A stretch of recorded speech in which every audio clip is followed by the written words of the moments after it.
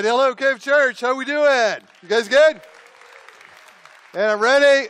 Hey, we're going to be teaching this morning, so let me remind you about your YouVersion app because in a minute I'm going to be rolling into some scripture. There is so much scripture in this message.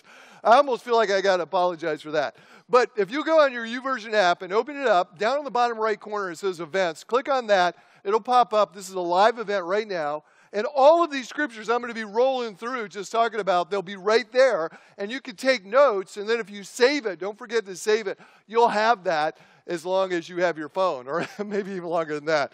So it's a great way to take notes and to follow along. We've been in James, and today I want to talk about having a living faith. Those are James's words, having a real faith.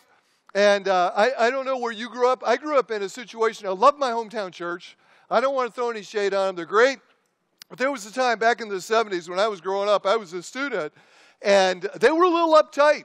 You know, religion is when, like, you just start trying to do it on your own. You come up with these man made rules, and we do things, rituals. We don't even know why we're doing them, right? Somebody else told us to do it, and you don't even know why. Maybe it's 100 years ago, 500. You know, you're just doing stuff. And they, were, they didn't like you to have long hair. Like if you were a guy, you couldn't have hair that like was over your earlobe. That was a big no-no. And it got so crazy. I was like, at one point, I said, hey, Billy Graham and President Jimmy Carter have longer hair than I do. Can we just relax a little bit, you know? And, and uh, they, they had this thing where they, they hate, we had this new pastor that came out from California. When his wife came the very first service, she wore a pantsuit instead of a dress they had a dying duck fit over that. I mean, just went ballistic. It was a big thing. And then they loved hymns. If you love hymns, I'm so sorry for you. I mean, no, I'm glad for you. We're all different. I got to tell you, I don't like hymns. No, I mean, not, okay, honestly, there's 10 or 15 that are good. Maybe, maybe 20. But you can't sing the same 20 songs for the rest of your life. And so, and I know I'm not winning any friends right now. You almost love hymns, man. I mean, I, I don't like them, you know, and that's why we don't do them. Very first service, somebody came to me and said it was pretty good, but if you do hymns, I said not now, not ever. And so we just kind of stuck with that. But anyway, uh, they, you know, I would come to church after having been to something like Young Life. Anybody been to Young Life? Got to get a shout out for Young Life. It would be rocking and rolling. I mean, it would be so good. Or you would go out to something like our students are at right now. Do we have any students that are already back in the house? I know they're coming back. The buses are back. They're not here yet. They'll be at any time. And you would come back from something like that, and your service would be dead. You know what I mean? And so, really, we're trying to have like a student ministry thing here uh, for the adults, man, and keep it alive, keep it real. And I want to talk to you about that because this is what James has been saying. If, if you've been in this series, been saying you've got to keep your religion real. Like if you if it doesn't change what comes out of your mouth, then he said it might be worthless. He said if it doesn't change the way you treat people, it might be dead. And this is one of the things about James, man. He doesn't pull any punches. He'll hit you right on the chin. And so he dials it in in even a more personal way in verse 14. He says, What good is it, my brothers and sisters, if someone claims to have faith but they have no deeds. Can such faith save them? That's a huge question. He's asking all of us to consider can your faith save you? Do you have any action, any life change, anything that goes along with it? Or is it just something playing out in your head, just something you're saying, but there's nothing that goes along with it? And here's an example. It says, Suppose a brother or sister is without clothes and daily food and if one of you says to them, Go in peace, keep warm and well fed, but knows nothing about their physical needs, what good is it? In the same way, faith by itself, if it's not accompanied by actions, is dead. So the question he is asking, and he's dialing it in very specifically, very personally, wanting every one of us to consider it do you have a living faith?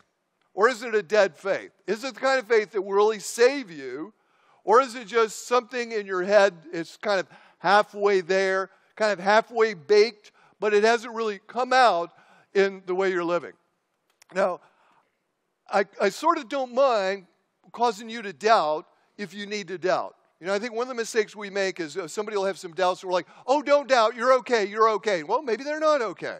Or God will be doing something in someone's life, and we'll step in thinking oh, we know better, and we'll try to change the direction of it.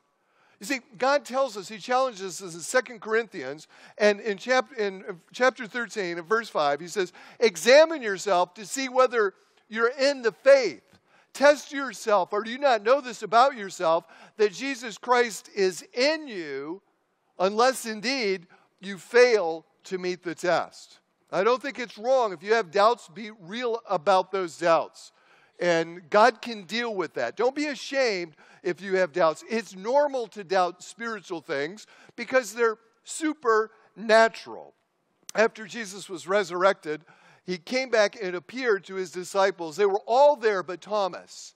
And the disciples later caught up with Thomas. They told him what happened.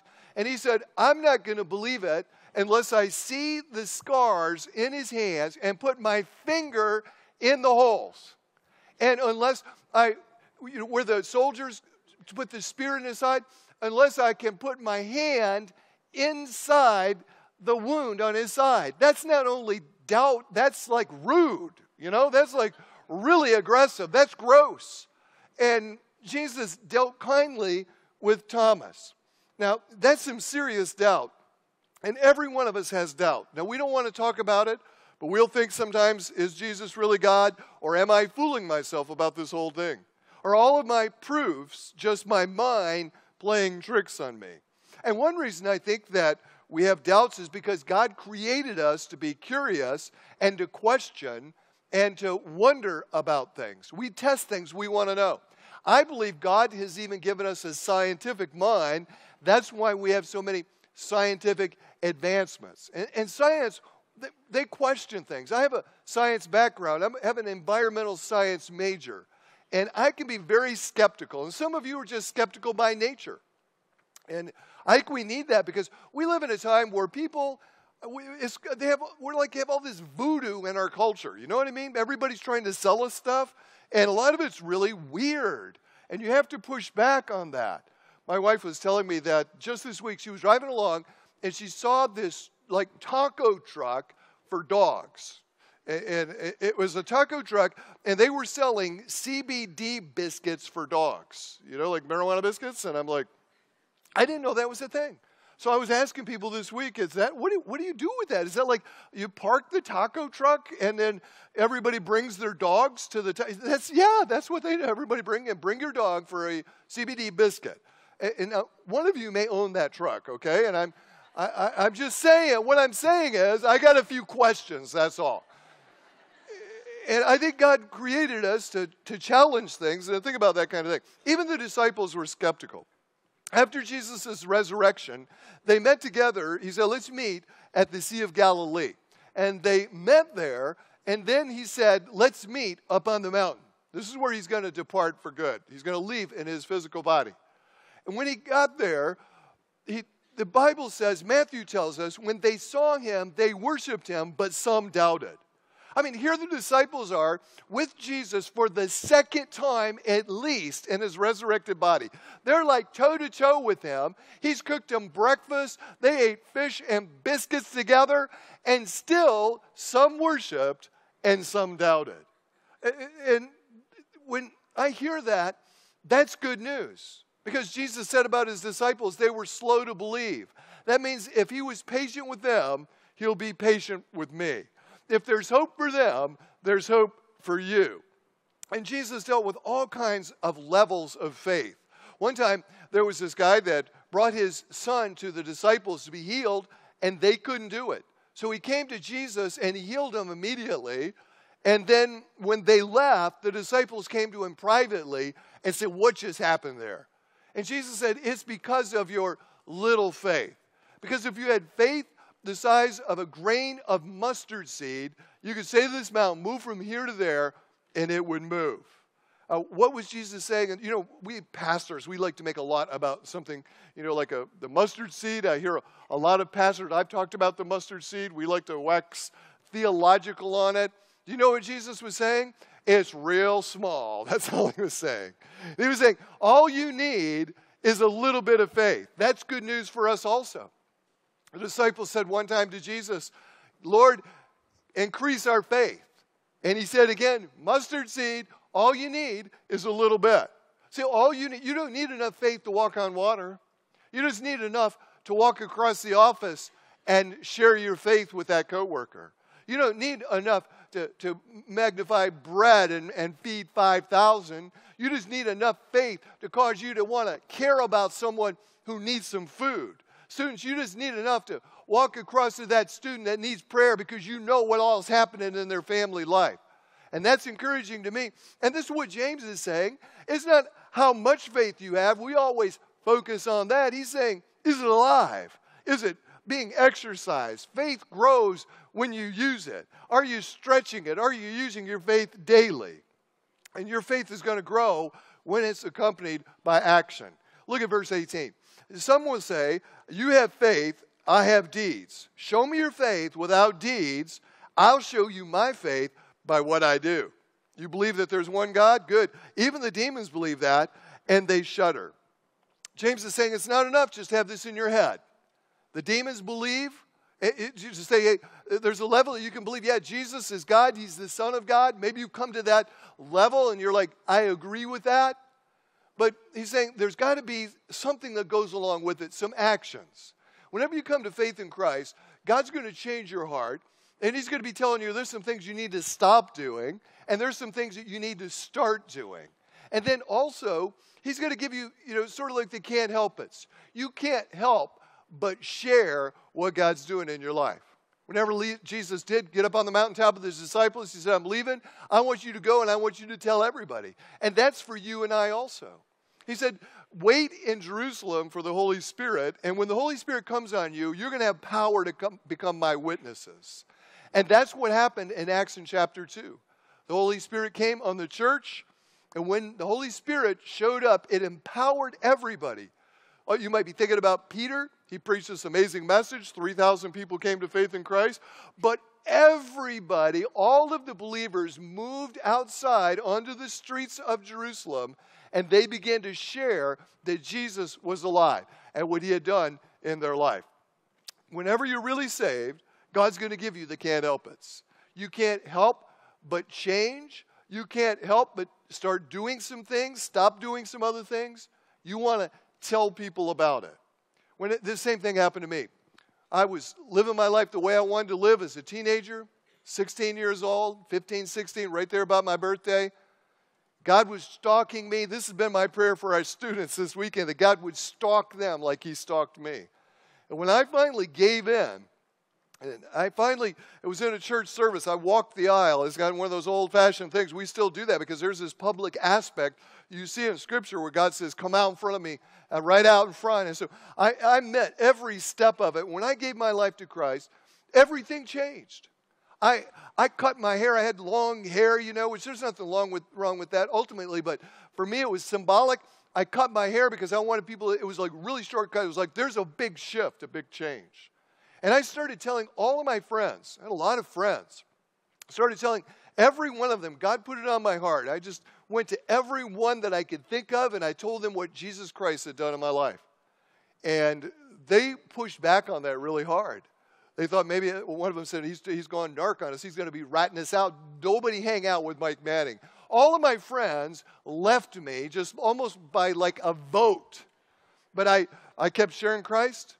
I had to go to my teachers that I had been a big jerk to. I was one of those kids. I would say some days I'm going to make that teacher cry.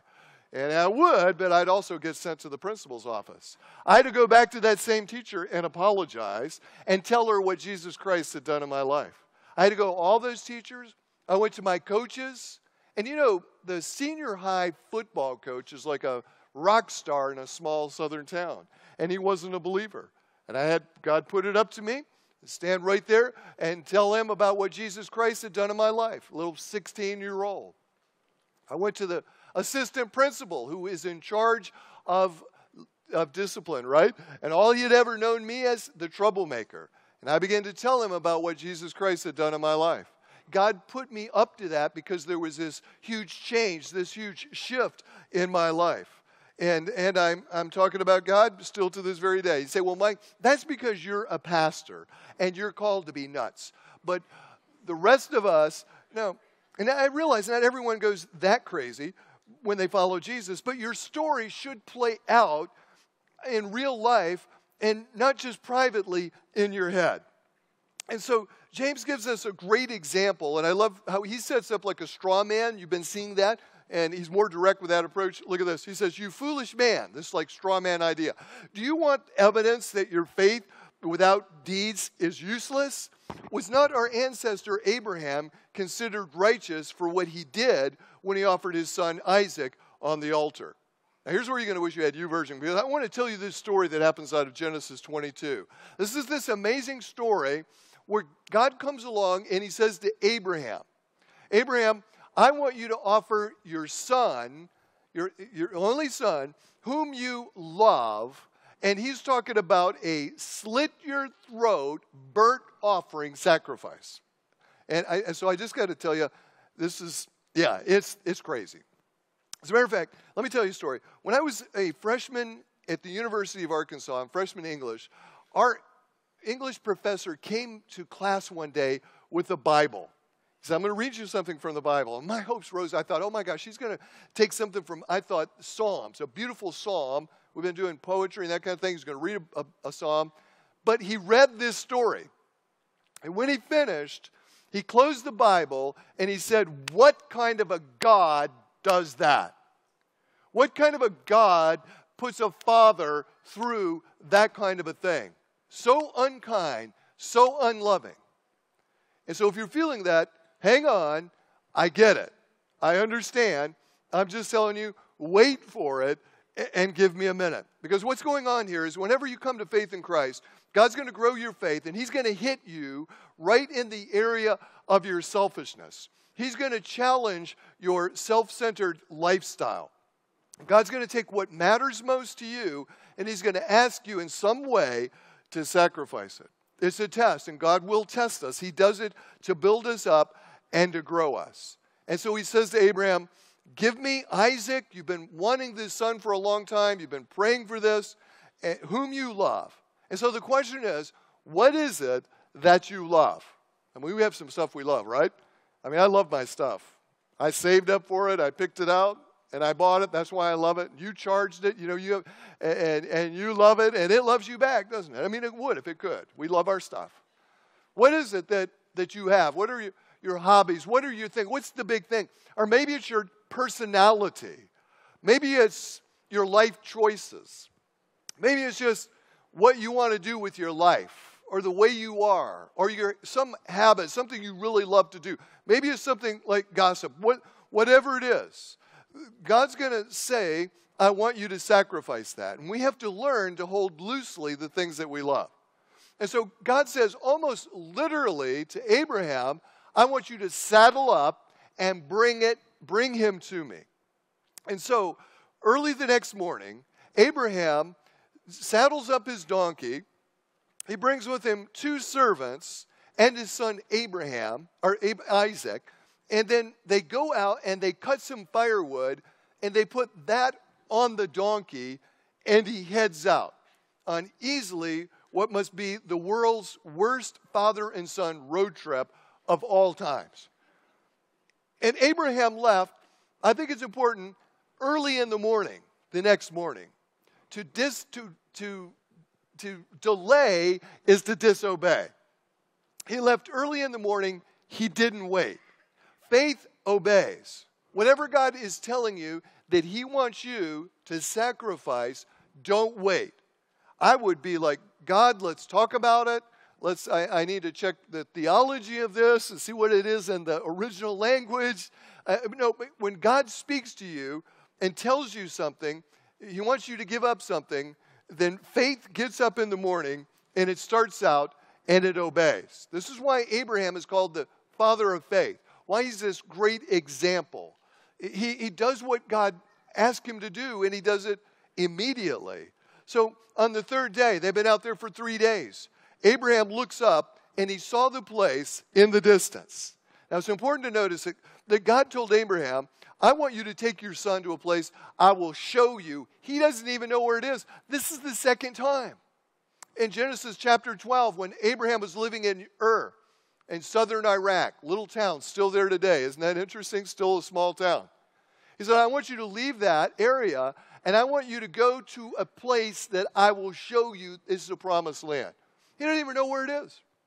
And so again, God's saying, I want you to take your son and I want you to go to a place to offer him as a sacrifice. Abraham doesn't even know where he's going. It takes three days to get there. What a battle to keep going on, riding along, bonding with your son. Because don't you love a road trip? I mean, road trips are good. You really get to an, another level with people. Have you noticed that? You can ride along. Here's how you can tell that you're really bonding with someone when you can be silent with them. So you're just driving along and you don't have to talk, they don't have to talk, and it's not awkward. And then after those moments are when, I don't know if this is a guy thing or is this a girl thing too, but after you've rode along for a moment like that, then suddenly you kind of go to a deeper level and as you communicate. And that had to be happening on this trip. Abraham had to be thinking about how much he loved his son, how long he'd prayed for him, his hopes for his future, the good times they'd had in the past. And, and he doesn't understand what God's doing. And, and the fear and the dread is there also in those conversations. This is where your faith grows. See, it wasn't just what Abraham said, it was what he did. And, and he's going along and, and, the, and talking about the good times, but also in the background, thinking about what's God doing? I don't understand. The, the promises of God were about Isaac. And wondering about this whole thing about human sacrifice, that doesn't sound like God. And he would have been thinking about how much he loves him and how long he had waited for him. And when they get to this place, Abraham says to his servants, I want you to stay here with the donkey while I and the boy go over there. We're going to worship them, and then we're going to worship together, and then we're coming back. Can I just tell you that Abraham worshiped in the middle of the trial, and this is when your faith grows. This is why I'm so adamant with you. I mean, last weekend at three out of four of the services, I kind of got up here and kind of spanked y'all a little bit about worshiping, and I, I I'm not apologizing, but what happened was I was standing in the back and I saw so many people just kind of almost ignoring the worship, not even lip syncing. Some of you I know you're all in, you've been here for a long time, and uh, you serve and you weren't even singing you're like drinking a cup of coffee just kind of watching it. I think you'd have been smoking a cigarette if you know if you could just kind of what's going on here? You know just like no no you're, you're missing something so vital in our growth. God inhabits the praise of his people. And all through the bible we're told to worship him and we see people worship him at the most difficult time in their life. So here abraham is he, he, he doesn't understand he doesn't know what God's doing fully and completely, and he doesn't totally get it, but he worships him in the middle of this trial, at, the end of this journey. And he told these two servants, Hey, we're coming back. We're going to worship up there, and then we're coming back to you. And so God leads you on this journey, and you're making this sacrifice, and it brings you closer if you'll let it, whatever you're going through right now. Lean into your relationship. Worship God the whole time. You're, you're hearing God, you're praying about it, you don't understand it, you're getting ready to make the sacrifice. That whole process can draw you nearer to God. And this is the way your faith grows. We will worship and we will come back. He says, Abraham was trusting that God was going to provide. He didn't have all the answers, he didn't understand even what he was doing, but he was saying, to them, it really reveals his faith. We're going up there, but I guarantee you, I don't know how it's going to happen. We're going to come back. And I have to believe that he was thinking about how God had worked in his life. You see, God had promised to give Abraham and his wife Sarah a son, not just a baby. He said to them, You're going to have a, a son. And when, when Sarah heard it, she laughed because she was 90 years old. I totally get it. You know, as older you get, your filter kind of goes away, doesn't it? Some of you, I mean, by the time you're 90, it's gone. And that's funny, you know. I mean, have a, that's hilarious. Abraham was 100 years old. But God said, not just are you going to have a child, He said, about this time next year, you're going to have a son. It's going to be a boy, and I want you to name him Isaac. And it's going to be through Isaac, this relationship that I have, God saying, what I have with you, Abraham, I'm going to extend it through Isaac, I'm going to have a covenant with him, a promise and a contract with Isaac. And I had to believe that Abraham was thinking through and thinking, if God can tell me I'm going to have a baby boy at 90 and 100, we're going to have a child, name him Isaac, and the contract is going to extend through him, I don't know how he's going to do it, but I believe we're coming back. And Hebrews even says, the Bible tells us that Abraham believed that God could raise Isaac from the dead. Hebrews 11 says, Abraham reasoned that God could raise the dead, and figuratively speaking, he did receive Isaac back from the dead. Now, when you hear this figuratively speaking, it reminds me that faith is following God when He asks you to do something, even though you don't know why. I mean, why would God ever put Abraham up to that? Like my English professor asked. Why? Because this story becomes the greatest foreshadowing of the cross in the entire Old Testament.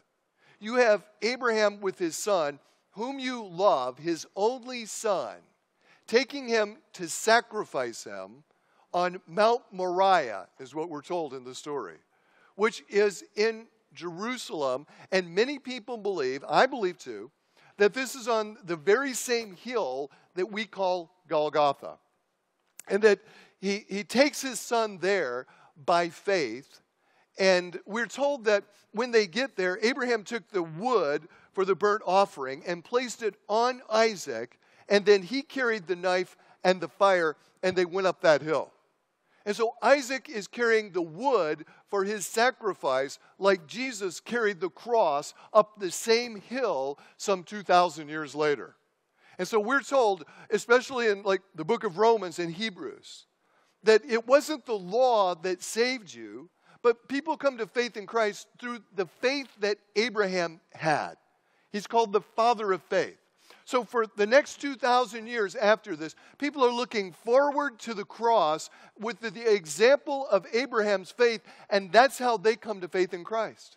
We're looking back at the cross 2,000 years later at what Jesus did on the cross, and then back at what Abraham did.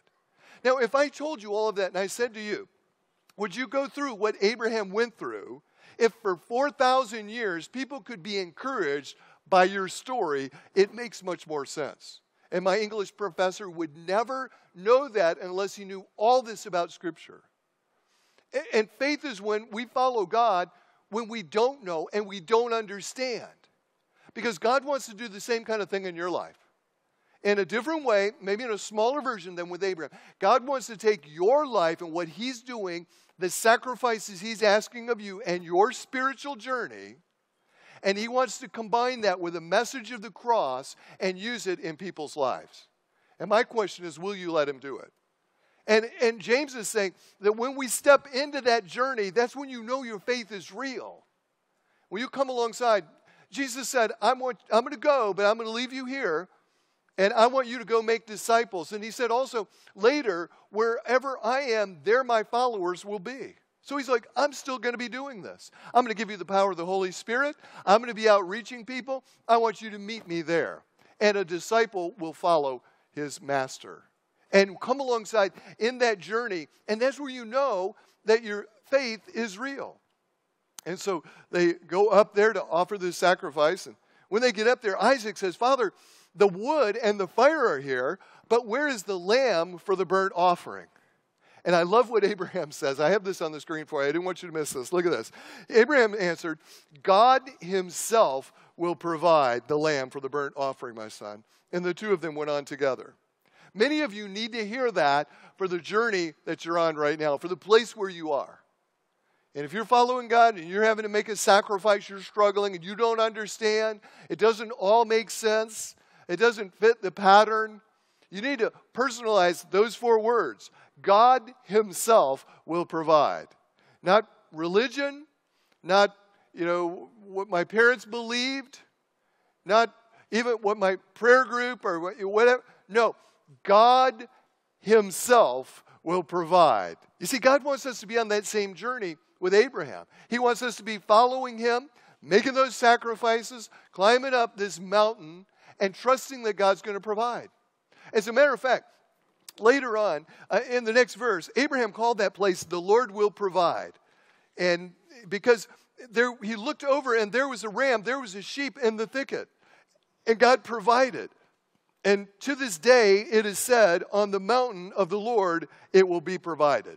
This is one of the Hebrew names for God, Jehovah Jireh. It comes from this God will provide. He is the great provider. whatever you need, whatever you're going through, whatever sacrifice He's asking of you, God Himself will provide. And this is where your faith becomes personal.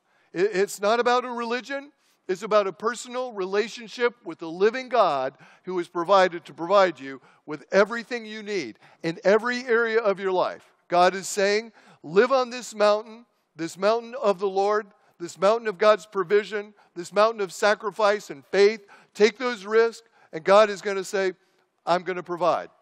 But you've got to step out. This journey is a risky journey. He's going to ask you to follow him. He's going to ask you to make some sacrifices.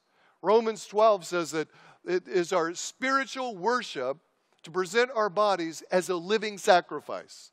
So, this whole journey is about God saying, I want you to sacrifice that. I want you to give that to me. I want you to change in that area.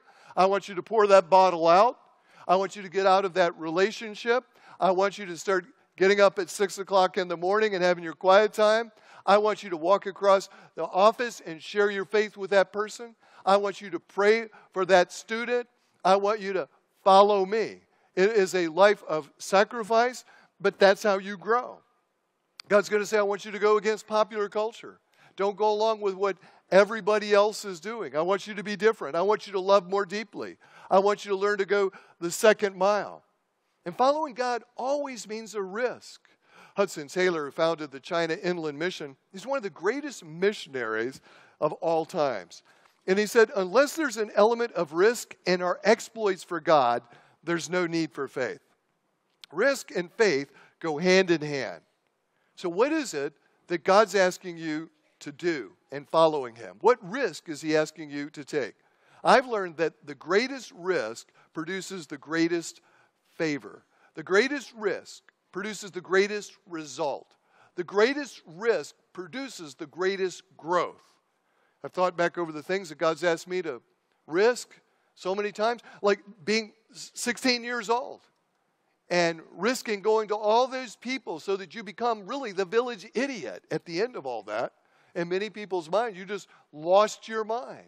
And many of those people I shared faith in Christ with, they never came to faith in Christ.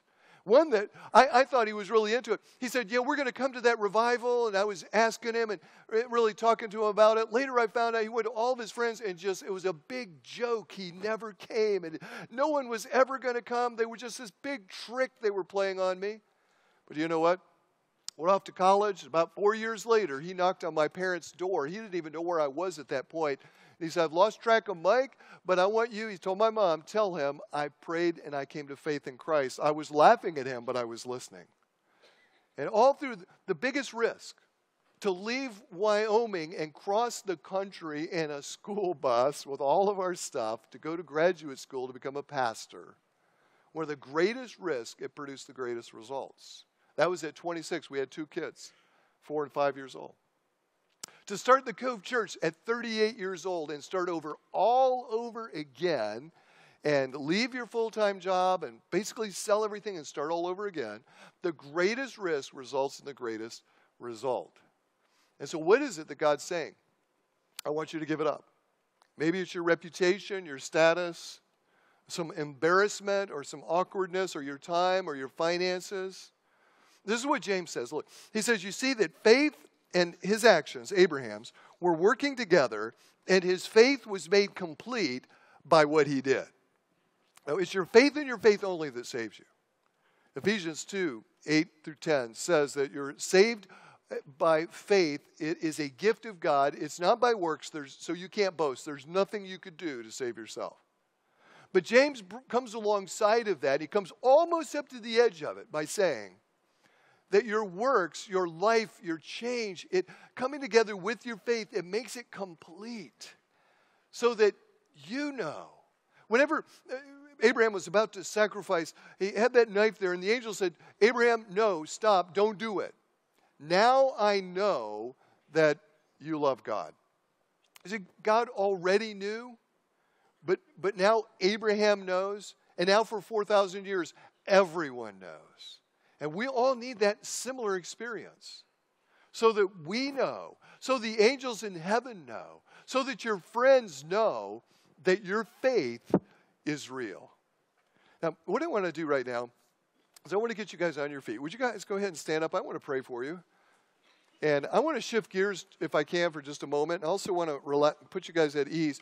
Um, we've only been going for 57 minutes. Can you believe that? You get your money's worth at the Cove Church. Can I just say, for 57 minutes? Come on. Yeah. And uh, we really, we really uh, promised this service to be an hour and 15. So, okay, so we have 18 minutes. Just trying to get you to chill. You know, we just kind of get up, and I get preaching fast, and I get going and all, and, and uh, I just want to slow this thing down because I believe that it's the Spirit of God with the Word of God that changes us. And so I want to challenge you right now. I want us to be praying through what we've been talking about. And some of you, you have some doubts about your salvation. And here's what I've been telling people for like 40 years since I was like 16. What I did is I started praying. After I had that experience, I wanted to know the next thing would be get baptized if you're a brand new Christian. So, but I got saved, I thought, at nine. I was so confused. I would get up every night after everybody was in bed and all the lights were out, and I would get on my knees on the hardwood floor and I prayed for two weeks, off and on, sometimes for two or three hours. I was developing this relationship with God. It was like He was right there in the room. And I was asking Him, Lord, when did I get saved? Was it a just two weeks ago, you know, at 15, or was it back when I was nine years old? So when I'm telling my story, sometimes you might be, when did he get saved? And God revealed, He said, no, you got saved at nine. I remember the wording, you know, as a whole experience, kind of brought that back, and I oh, yeah. But I didn't really grow any in that. So here's what I've been telling people for 40 years. If you have doubts, let's pray right now. Ask Christ to come into your life so you don't have to leave here with any doubts. And then go on that journey that I went on and pray and say, God, did I get saved now? Or, or maybe you, sometimes it was a child. You don't even know. You shouldn't go life through life thinking, I don't even know my story. You know what I'm saying? I didn't even know when I got saved. I'm confused. I don't know. Don't stay there. Figure it out. But in a moment, I'm going to pray with you so you can ask Christ to save you. So you'll, you'll leave here, you'll know that today I know I'm, I'm good. But then go figure it out. And then I want to pray for those of you that you, you feel like your faith is real, but it's on life support. It hasn't been a very living, very active faith. And I'm going to lead you in an opportunity to pray and say, God, I want to have a living faith. I want it to be real. The trend is like gravity, is just to go down to cold, dead ritual. And James says, watch out for that. Don't let that happen to you. Have a living faith. Have a real faith. It'll give you the can't help it. You can't help but change. You have to because God just, He's on you. He just like stalks you. And you can't help but share it. You couldn't hide it from your spouse. You couldn't hide it from the coworkers around you because they'll be like, something's happened. What's you're different. What's going on? Tell me about it. That's a living faith. And God will give you the power through the Holy Spirit to share that. Let's pray. Father, we come to you in Jesus' name. And Lord, I want to lift up the person who you have doubt right now. You're not really sure about your salvation. And I know, Lord, you don't want us to live there. If that's you, then I would just ask you to pray along the lines of what I'm praying and just say, God, forgive me for my sin and own that completely. I think we're afraid of that today, but but just say, God, I know I'm I'm a loser when it comes to relationships and and with you. I've sinned intentionally and unintentionally. I've hurt people. I've made mistakes. I just I'm selfish. I do what I want and and Lord, I'm I need you. God, you're perfect. I could never come into your presence like I am. And I, you know what? If you're not at that place, maybe you're just not ready yet. Because I think you get saved when you just come to that point where you're so sick of your own sin that you want it gone. And you realize, God, you're the only one that can do that. You're the only one can take it. Lord, take my sin. You died on the cross. I believe that totally. You're the Son of God, Lord Jesus. And I want you to take my sin. And I'm going to follow you completely and totally with my life. I don't care what anybody thinks, what anybody says. I, and Lord, I am completely, with complete abandonment, I'm going to follow you and live for you all the days of my life. Now, and I think, can we just, right in the middle of this prayer, just celebrate those who are praying that prayer right now?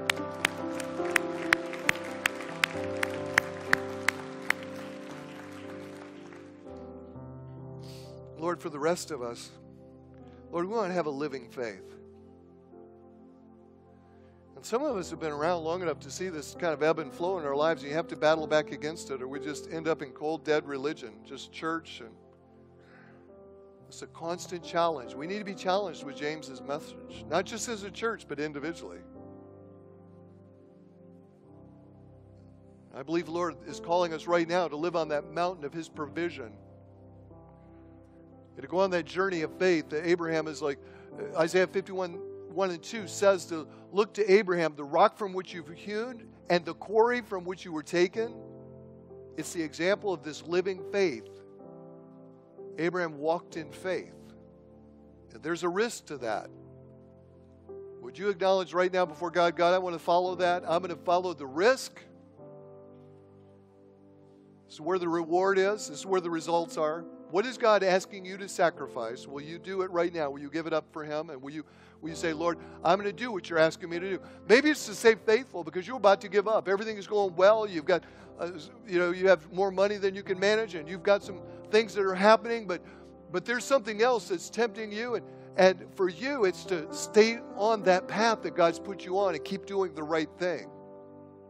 You're going to give up all these other temptations and things around you. Maybe you're right about to give up on your marriage.